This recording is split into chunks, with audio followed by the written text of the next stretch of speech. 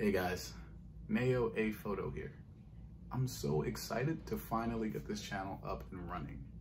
I've always wanted to create a home where photographers, both new and old, could come and find tips and tutorials on everything from the initial stages.